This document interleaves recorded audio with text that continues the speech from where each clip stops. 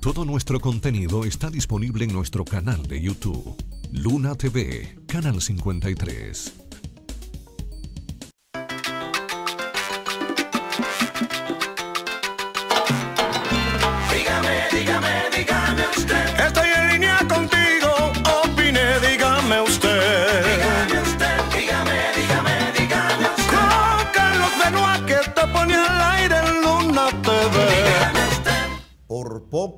Me quedo acostado en la casa. Señores, qué fin de semana tan largo, qué fin de semana tan atípico y qué bueno que este martes nosotros podamos estar juntos de nuevo aquí en el canal de los campeones, este humilde servidor de ustedes, como de costumbre presentando Dígame usted, nuestro programa formativo, informativo, pero sobre todo interactivo. A esta hora nosotros unimos a toda República Dominicana a través de nuestro humilde programa desde el canal de los campeones. Este, el canal 53, Luna TV, desde la ciudad corazón para toda la República Dominicana, llegando hasta todos ustedes, nuestros amables televidentes, gracias a las prestadoras locales de telecable diseminadas en toda la geografía nacional, aquí en la República Dominicana. Y por supuesto, gracias al concepto globalizado de emisión a través de la red global del Internet para todo el planeta Tierra donde usted cuente con servicio de Internet de banda ancha. No lo olviden, tanto para el país como el resto del mundo, estamos emitiendo como siempre a través de nuestra página web, la cual encuentran en la dirección www.lunatv.do. Ahí estoy repitiendo www.lunatv.do es nuestra página web y a través de la misma se emite en HD en tiempo cuasi real toda nuestra programación de 24 horas sea cual sea el medio a través del cual usted nos sintoniza. Bienvenidos a Dígame usted y siéntase libre para interactuar con esta humilde persona, para que ustedes puedan, como siempre, expresarse con libertad a través de las líneas telefónicas, las dos siempre disponibles, el 809-226-3353, al igual que nuestro número directo con WhatsApp, que es el 829-631-8822. Es hora de dígame usted aquí en Luna TV, Canal 53. También llegando el canal, nuestro programa, eh, toda nuestra programación a través de eh, distintas plataformas digitales, como es eh, la plataforma gigantesca, poderosa, numerosa de YouTube, en la cual nosotros contamos con tres canales. Nuestro canal principal, nuestro canal primario, Luna TV, canal 53, al igual que nuestros canales secundarios como son Luna TV en vivo y Luna TV RD. En este mismo instante estamos emitiendo a través de Luna TV en vivo por YouTube para aquellos que prefieran vernos, sintonizarnos a través de dicha plataforma y hacer uso en libertad de los comentarios, las secciones de comentarios para que puedan también expresarse libremente a través de nuestros canales de YouTube. Les recuerdo que pueden buscarnos, seguirnos, ser parte de nuestra familia en Facebook, que nos encuentran bajo el nombre Luna TV Canal 53, al igual que en Twitter, Luna TV Canal 53, y en la red de Instagram, ahí pueden encontrarnos bajo la cuenta, buscando la cuenta arroba lunatv.do a este humilde servidor de ustedes en Instagram como arroba Carlos Benoit Opinión, arroba Carlos Benoit Opinión y en Facebook y Twitter como Carlos Benoit. Bienvenidos todos y de inmediato entramos en materia informativa. Pero sobre todo les recordamos que estamos eh, a la grata espera de eh, sus eh, comunicaciones telefónicas. Mm, pérdidas irreparables para la República Dominicana. Eh, este pasado fin de semana, pasado sábado, fallece el ex rector de la Pontificia Universidad Católica Madre y Maestra, Monseñor Agripino Núñez Collado, una emblemática figura de la educación, poderoso sacerdote dentro de la iglesia y con un arraigo social y en cierto modo un arraigo político único, el mediador por excelencia en históricas crisis de la República Dominicana que de no haber sido por el tacto, la visión de Monseñor Agripino Núñez Collado, duélale a quien le duela, muchas personas incluso eh, siempre se mantuvieron criticando a Monseñor Agripino Núñez Collado, que era el sacerdote de los millonarios. Señores, cada persona, cada sacerdote tiene un rol como lo tiene usted, como lo tengo yo, que no somos sacerdotes, el eligió, las circunstancias lo llevaron a partir de 1970 a ser rector de la Pontificia Universidad Católica Madrid Maestra. Muchos creen que fue el fundador, que fue el primero o el único. No, no lo fue.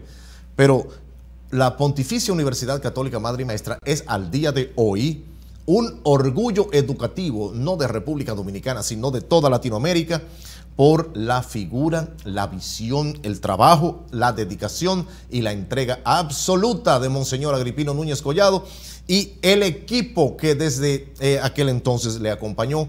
Una universidad que surgió con sus principios, los cuales prácticamente no han variado en casi nada. Luego, bueno, pues sube de categoría a ser declarada por eh, Santa Sede, por el Vaticano, como una universidad eh, pontificia, pero aquellos que eh, han denostado históricamente la figura de Monseñor Agripino Núñez Collado, déjenme decirles que si él no hubiese eh, eh, realizado una elección del escenario a través del cual él podía aportar a la educación y a la sociedad, entonces realmente no se hubiese podido lograr lo que al día de hoy es la Pontificia Universidad Católica Madre y Maestra. Monseñor Agripino Núñez Collado fue el responsable en vida de evitar incluso explosiones sociales que en su momento hubiese, eh, hubiese provocado eh, Joaquín Balaguer, eh, hubiese provocado las ansias de llegar al poder del Partido Revolucionario Dominicano, que en sus momentos, incluso en 1994-96, se sabe, sobre todo en el 94, que ganó el PRD las elecciones y el doctor Joaquín Balaguer se robó esas elecciones con artimañas que ojalá algún día se sepan para que aquellos que veneran la funesta figura de Joaquín Balaguer conozcan quién fue realmente Joaquín Balaguer. Hay sacerdotes que van barrio por barrio, casa por casa. Esa es su misión, su sacerdocio.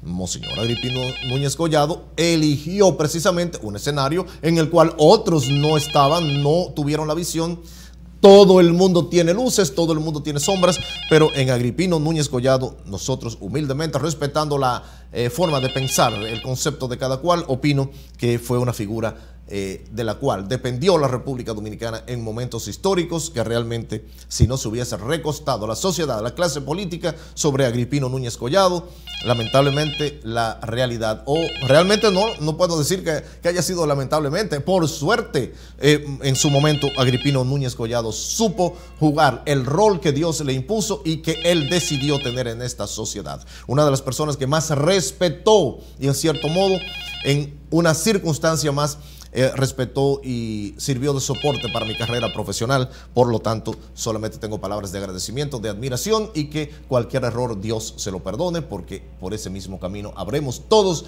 de rendir cuenta a nuestro Señor Dios. Saludos cordialísimos. Esto es Dígame Usted en Luna TV, Canal 53. Usted sabe que nosotros, cuando podemos dar una descansada kilométrica, para nosotros eso es fiesta, mi querido. A la franca, óigase. El fundador de la madre maestra fue Agripino. No, no, no, no. Eh, ¿Cómo se llamaba? Eh, creo que el primer rector fue eh, Roque Adames, el obispo Roque Adames. Bueno, pues nosotros fuimos hace 55 años alrededor. Un año menos que mi En la biblioteca. Y apenas había en ese edificio, ahí había cinco edificios. La lleve Guinea, ahí tapaba a todo el mundo. Se podían soltar vacas. Él fue recto porque él se llevó muchas monjas, ya mujeres ya más o menos, a trabajar con él. Incluso varias se casaron, pero de que era medio, decía un amigo mío que era buena madre, no, buena maestra, pero mala madre porque era demasiado caro. Pero en sí se fajó cuando hicimos el tanque. Ah, bueno, yo, comencé a trabajar allá hace como 55 años. Pero mire qué bueno, qué bueno que usted diga eso, Arias. Muchas personas creen que ese, esa construcción eh, vertical es un adorno y no es más que el tanque de agua, que la gente lo desconoce. tres columnas son yo sé que se lo moden. Ay, pero yo tengo que hablar de usted, con usted eso, eso es histórico. Y oiga lo que le voy a decir. Atención, Master, busca tanque PUCMM, Tanque Pucamaima. A ver si nos da tiempo de, mostrarlo eh, en medio de la llamada del señor Arias, pues a quien estoy interrumpiendo en confianza. Dígame, Arias. Aparte de eso, el consejo que le dio el hijo Bolito Jacín a los pobres, a los más pobres, a la clase media, y ok, que, que tenía, si por ejemplo su vecino, eso fue el sábado, el vecino suyo tiene un carro, usted tiene otro, bueno, pues el vecino lo encamina un día usted encamina el vecino otro. Oiga bien. Sí, sí, por supuesto. Pero oiga, oiga, oiga eso es humanismo. Como si ellos lo hicieran. Y si usted tiene arroz y habichuela y usted quiere comer arroz y habichuela, que no cocine arroz y habichuela, que, que haga un moro para que economizar gas. Qué bueno, ¿eh? En vez de decir, quítele en el dinero a esos ladrones que falcaron el país. Ay, sí. Tiene, razón. ¿Cómo lo voy a decir? pagando la deuda que ellos se robaron. Pero vea qué forma explican algunos ricos. que si usted quiere comer arroz de bichuela, que no, que no. Haga un moro y economice gas. Pues, mire, la forma que puso el país de la maravilla. Gracias. a usted por expresarse libremente con nosotros a través de nuestro programa.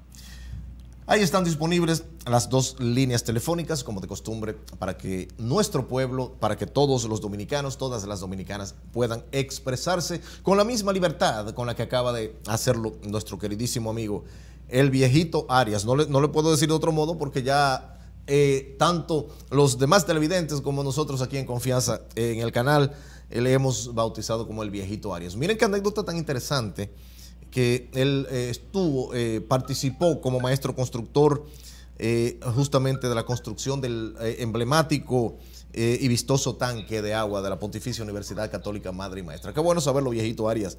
Saludos cordialísimos. De aquí, de Santiago, pasamos a Estados Unidos, donde está nuestro querido amigo, colega, colaborador, que es Miguel Núñez, allá en Florida, Estados Unidos. Saludos cordiales de buenas tardes para ti, mi querido hermano. Dígame usted.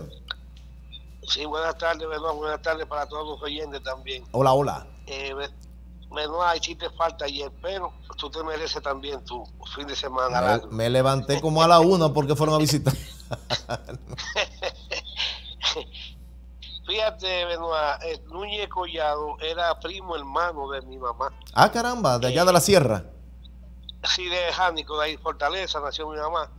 Qué bien. Creo que por ahí mismo nació, sí. Este, mi mamá era padre Collado, pero también era familia de mi papá. Oh. Mi papá era Núñez, Núñez Zarzuela de las Matas, mi papá. O sea, eh, él eh, salió de Jánico y jamás volvió a juntarse con la familia. Y bueno, nadie casi mencionaba a Agripino, eh, porque él estaba en lo de él, ¿verdad? Casado con su sacerdocio. Exacto. Hasta el último de sus pues, días. Sí, fíjate eh, como te digo, eh, hizo lo que tenía que hacer, ya murió, bueno, vamos a ver. Pero estará siempre de historia, pues imagínate tú, de lo que tú dijiste, estaba en todos los problemas, lo mandaron a buscar para resolver. Y el problema es que él no pedía mediar, se le pedía a él por el respeto, la credibilidad y porque tenía buenas relaciones con todos los sectores, tanto protagonistas como antagonistas en momentos específicos, bajo ciertas circunstancias que hubiesen eh, lamentablemente en sus momentos desviado el relativo estado de paz y relativo estado de democracia que República Dominicana ha podido poquito a poquito eh, lograr con muchas luchas sociales, pero sobre todo con mucho sacrificio por parte del pueblo. Sí, fíjate, para que la gente sepa, la mayoría de sacerdotes en los tiempos que yo me crié eran de, los campos. Sí, cierto. Porque Roque Adame, sí, Roque Adame también era familia de mi mamá. Y, de ahí, era de ahí de la tierra también. Por, es, por ese no meto yo, oiga, ni la uña del meñique acabada de cortar. Pero no estamos en eso. Para no dañar los comentarios, déjeme, yo dejarlo ahí. Pues que, en paz descanse y a Dios que lo perdone. Bueno, pues fíjate, eh, ah, yo vuelvo a insistir en el asunto de la pensión. hasta que, y tenemos que insistir hasta que se resuelva. Ah, ya lo dijo un día y, y no se resuelve y vamos a callarnos, señor.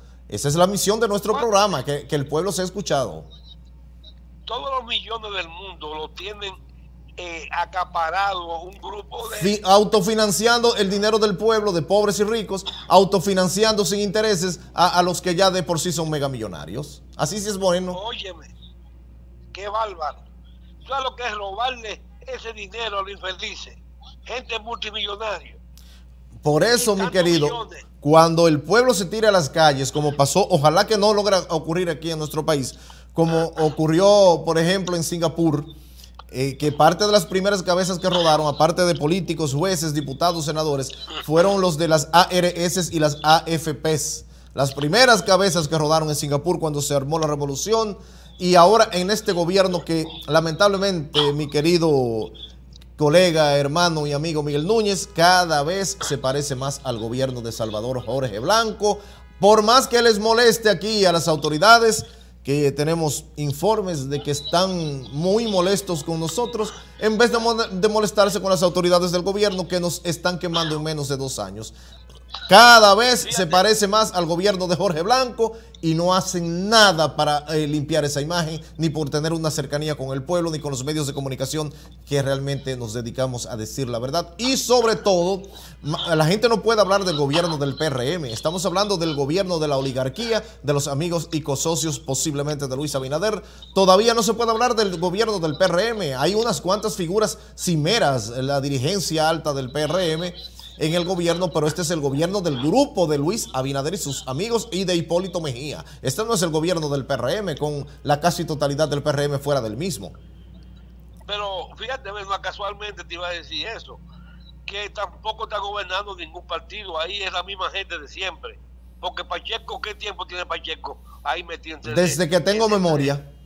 Entonces, dando problemas. ¿Y, y, qué ha hecho Pacheco? Ni siquiera más ni siquiera a su esposa nunca la hemos visto. Pero no se vaya muy, no se vaya muy lejos, mi querido hermano. Eh, tan rápido que aparecen eh, los votos necesarios, el quórum necesario para aprobar préstamos y aprobar modificaciones y, y sinvergüenzadas, pero para aprobar la ley de extinción de dominio, que a ellos posiblemente, a un grupo de ellos, acabaría trancándolos. Para eso no aparece quórum ni hay intención política. Ajá, así sí es bueno.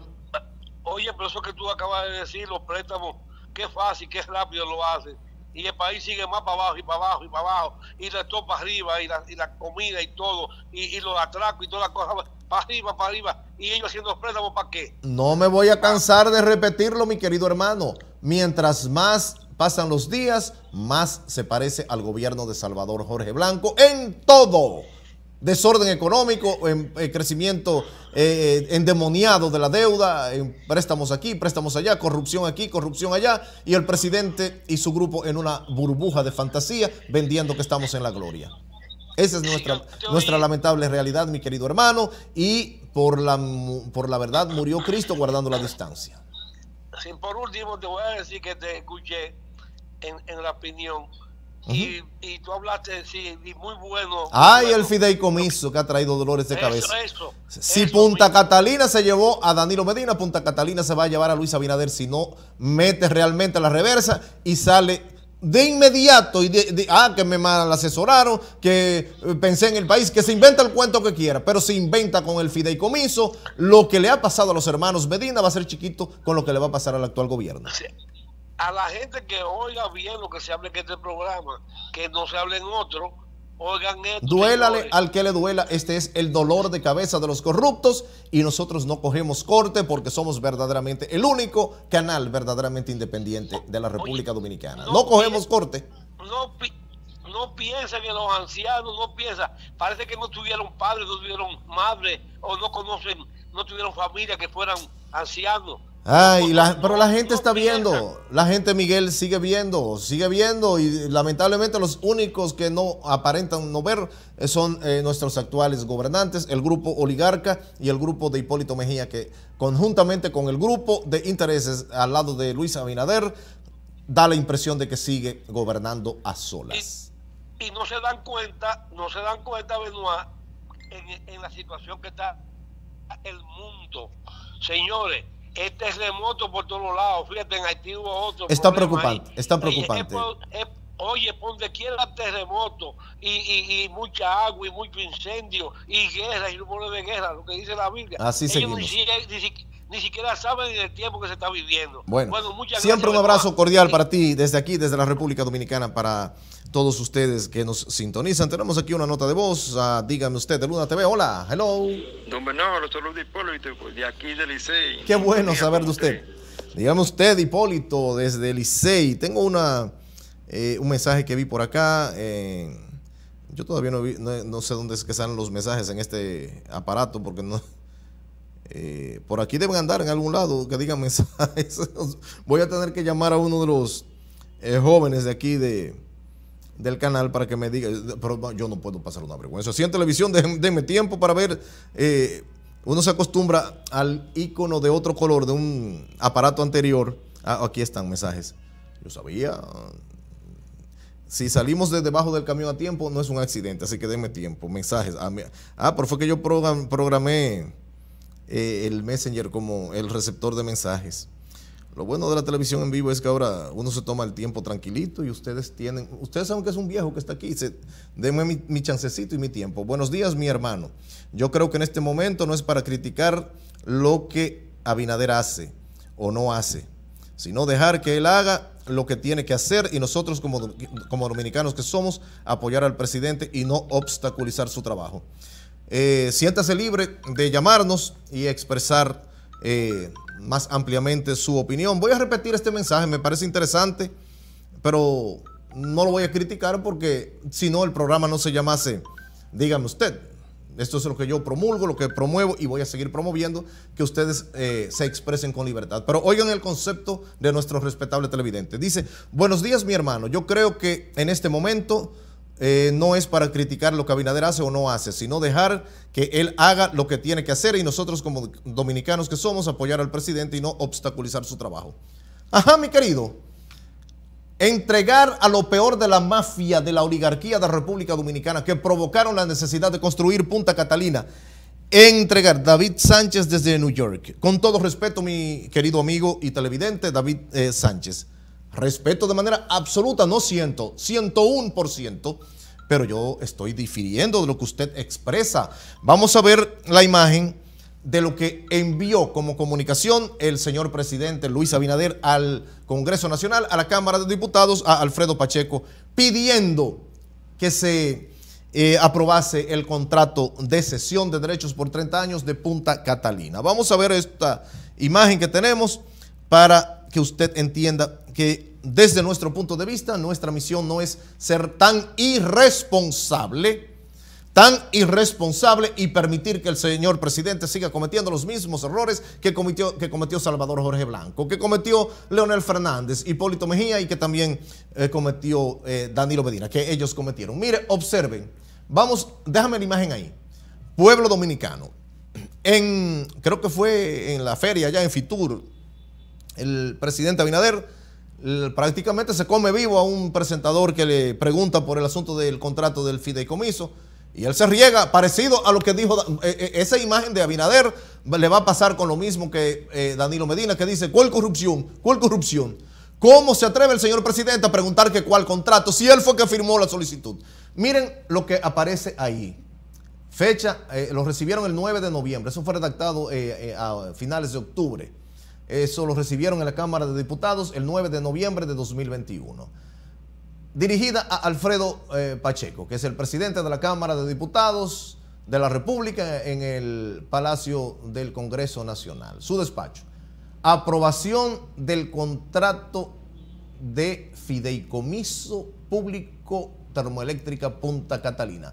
Anexo, contrato original. Y el presidente a la prensa a República Dominicana y al país, dice que cuál contrato, mírenlo ahí, Luis Abinader, presidente de la República, del despacho del presidente de la República, que instruyó, oígase bien, al Ministerio de Economía y Desarrollo, aprobar y fomentar esta vagabundería que se convertiría en una estafa peor que la cometida por Danilo Medina en contra del Estado con Punta Catalina. Poner en manos del sector que obligó, óigalo bien, el sector que tenía de rodillas los precios y los apagones financieros y los chantajes al Estado Dominicano con la energía eléctrica, ceder Punta Catalina, que pudo costar 900 mil eh, millones, 900 eh, millones, que fue la oferta de la empresa china, sin embargo, se le da a la mafia de Brasil o de Brecht eh, por casi 4 mil millones. Dice el presidente ahí mismo que lo que no se quiere, ya ok, podemos pasar aquí, que lo que no se quiere es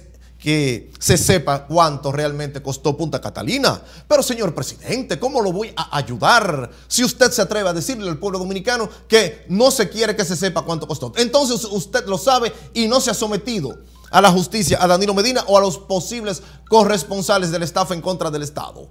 Que o, ajá, que lo, como quien dice que la oposición no quiere que se sepa el verdadero costo. Usted entonces lo sabe, se cometieron errores y usted no permite, fomenta o pide que se llame a la justicia. Eso lo convertiría a usted en posible o eventual cómplice, siempre y cuando que las cosas sean como aparentan ser, de acuerdo a lo que usted dijo, mi querido señor presidente. Entonces, a nuestro querido, respetable, amable televidente, si yo tengo que callar y dejar que Abinader haga lo que se le pegue la gana, callar y dejarlo trabajar, no, usted se equivocó. Usted se equivocó. Allá en Nueva York usted podrá vivir bien, lo respeto y ojalá que se comunique conmigo todas las veces que usted quiera. Porque en eso consiste nuestro programa, que cada quien exprese libremente, pero al menos yo no soy un irresponsable que voy a estar al lado del presidente Luis Abinader, permitiendo que corrupción como esta, que cosas tan indecentes como la que se pretende hacer con el fideicomiso de Punta Catalina, que se llevaría, se llevaría de paro a este gobierno en las próximas elecciones, estarían poniendo en bandeja de plata las elecciones, por ejemplo, a, Leonel Fernández, Zafa. Estarían poniendo la presidencia de las manos a Leonel Fernández si no echan para atrás esta sinvergüenzada del fideicomiso. Entonces yo tengo que aplaudirle eso a Luis Abinader. No, yo tengo que cuidar a Luis Abinader porque yo soy copartícipe de los que pusimos a Luis Abinader en la presidencia. Duélale al que le duela. Pero la boca mía tiene, oiga, y mi cerebro, gracias al Señor gracias a Dios, es un compromiso con la verdad. Yo no vengo aquí para adular a Luis Abinader todas las vagabunderías eh, en las cuales lo quieren hacer meter. Ahorita viene entonces el, gran costo político, los grandes errores en esta sinvergüenzada que cada vez están llevando al presidente Abinader a un gobierno igualito que el de Salvador Jorge Blanco, que terminó el pueblo siendo asesinado por las Fuerzas Armadas y la Policía Nacional en las calles por el mismo esquema de corrupción y endeudamiento que tan, tan similarmente lleva este gobierno al igual que el gobierno de Salvador Jorge Blanco. Nosotros, aquellos que sí defendemos realmente a Luis Abinader y a su gobierno y que queremos eh, una administración distinta, pulcra, ética y transparente como él prometió, entonces somos los enemigos del gobierno, los que defendemos realmente los principios sobre los cuales él basó su campaña usted se equivocó, pero sigo respetando su opinión. Mientras tanto, les recuerdo a todos ustedes que el mejor plátano criollo orgánico de República Dominicana, los mejores limones persa orgánicos del país, se cosechan y se comercializan desde Hacienda Biológica Virginia. Hacienda Biológica Virginia, orgullo agrícola de la República Dominicana, con el teléfono de contacto para ordenar sus pedidos 829 648 8589. Estoy recordando el número de teléfono de contacto de Hacienda Biológica Virginia para ordenar plátanos orgánicos, criollos y limones persa orgánicos de mayor calidad. El 829-648-8589. Si quiere comer de inmediato, pues llame ahora mismo a Fausto Picaderas delicias para toda ocasión en Fausto Picaderas, aquí en Santiago, servicio a domicilio. El teléfono es 809-671-1634, ahí en pantalla, no lo olviden que es Fausto Picaderas, 809-671-1634. Señores, por favor, permanezcan en sintonía con nosotros. Les invitamos a continuar con las llamadas telefónicas, las cuales vamos a estar atendiendo tan pronto estemos de regreso, porque este programa es de ustedes, nuestro gran público en el país y fuera también del país. Unimos a República Dominicana desde el canal de los campeones. Aquí Luna TV, canal 53. Dígame usted, retorna en breve, así que por favor no se marchen, porque aquí siempre hay mucho más dígame, dígame, dígame usted. Estoy